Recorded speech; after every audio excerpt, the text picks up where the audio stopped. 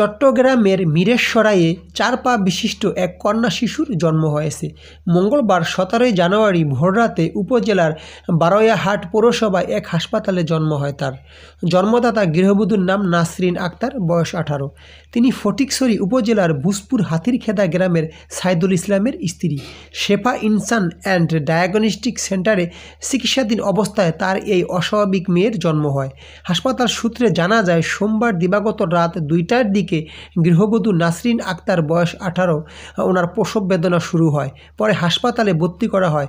সেখানে মঙ্গলবার ভোর পাঁচটার দিকে এই চার পা বিশিষ্ট কন্যা শিশুর জন্ম হয়। সত্যি দর্শক, আল্লাহর কি লীলা খেলা দেখুন, আল্লাহ চাইলে সবই সম্ভব, সবই পারেন।